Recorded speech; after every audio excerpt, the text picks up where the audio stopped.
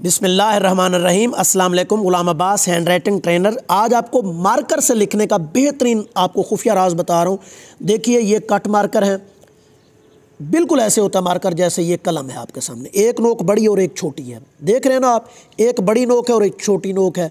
अब सिर्फ़ इन स्ट्रोक्स की आप प्रैक्टिस कर लें और मार्कर को पकड़ना आपने ठीक है।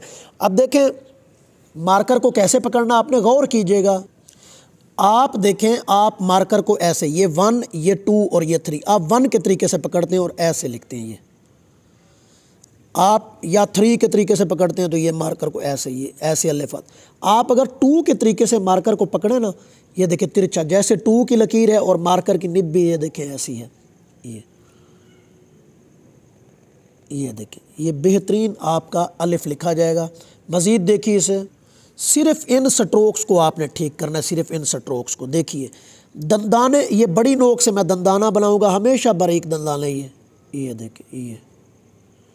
और जब इधर आऊँगा तो पूरा मारकर मैं नीचे रखूँगा, ये। ऐसे।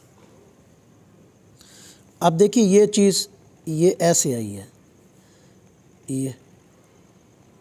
एक ये चीज़ आपने ठीक करनी, अब बे में देखें, जब मारकर इधर जाएगा तो थिक होगा। ये सारा हिस्सा, ये मोटा होगा और मार्कर जब पीछे की तरफ़ आएगा इधर, तब भी ये हिस्सा मोटा होगा, ये देखें। और देखें, एक मून की शक्ल है। मार्कर को यहाँ से स्टार्ट करूँगा, बारीक। जब मार्कर इधर से मुड़ेगा, अगर आपने मार्कर को पकड़ा हुआ ठीक होगा तो ये मुड़ते हुए खुद ब खुद मोटा हो जाएगा।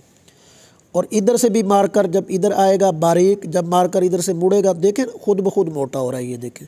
सिर्फ़ मारकर को पकड़ा ठीक है, मैंने इधर से खुद ब खुद मोटा हो रहा है। ये जो ही आप मारकर में हाथ हाथ में मारकर पकड़ेंगे तो इन ये प्रैक्टिस करेंगे, खुद ब खुद ये चीज़ें ठीक होना शुरू हो जाएँगी। इन स्ट्रोक्स को ठीक करने में आप दोबारा लिख के बता रहा हूँ, देखिए गौर से। ये देखिए, ये है ना मार्कर। आपने बड़ी नोक से बारीक दंदाने बनाने हैं ऐसे।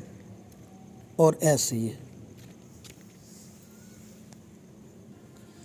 ये बहुत अहम पॉइंट है, ये देखिए, ये बारीक और ये। ये देखिए, ये बारीक और यहाँ से ये एंडिंग पोर्शन बिल्कुल बारीक बनाना है, बड़ी नोक से ये देखिए, ये ऐसे।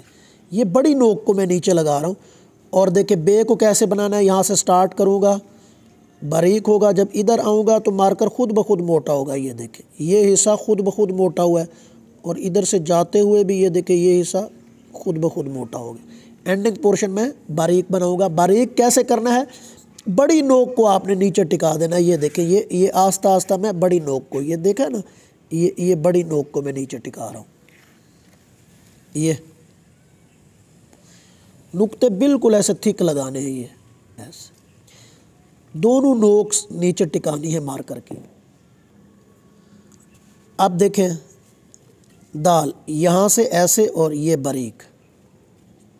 ये।